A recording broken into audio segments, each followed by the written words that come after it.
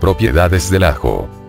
El ajo es considerado desde antaño como un remedio universal, usado extensivamente en los campos de la medicina natural para tratar la gripe, el resfriado, el acné, el colesterol alto, usado como repelente de mosquito y hasta para tratar problemas de circulación. Varios estudios médicos han demostrado que las propiedades del ajo, especialmente las del ajo envejecido, tienen un potente efecto antioxidante.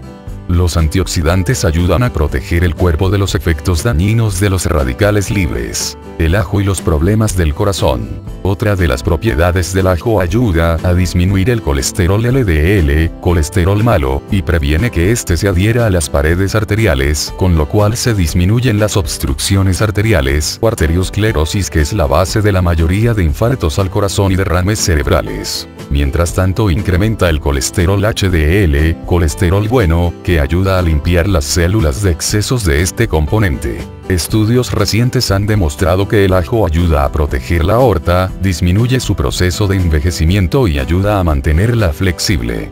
La aorta es la vena encargada de mantener la presión sanguínea y el flujo de sangre mientras el corazón está bombeando. La edad, una pobre dieta y otros factores ambientales pueden dañar la aorta, causando que se endurezca. El ajo y la hipertensión.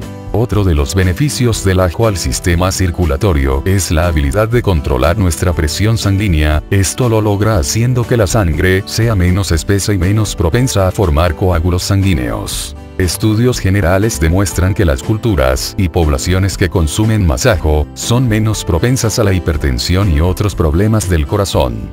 Por siglos los herbolarios chinos la han usado para tratar personas con problemas de angina de pecho y otros desórdenes circulatorios. Otras propiedades del ajo. Como mencionamos anteriormente, el ajo es efectivo en el tratamiento de múltiples dolencias entre las cuales se encuentra. El ajo ayuda a combatir resfriados y gripes. Ayuda en la reducción de la formación de células cancerígenas. Puede disminuir la impotencia. Mejora la memoria y la facilidad del aprendizaje. Previene la hiperglicemia relacionada con el estrés. Ayuda en la desintoxicación del cuerpo. El ajo es beneficioso crudo o cocido, pero algunas personas no pueden tolerar el ajo o el aliento que éste deja y prefieren añadirlo por medio de suplementos a su dieta.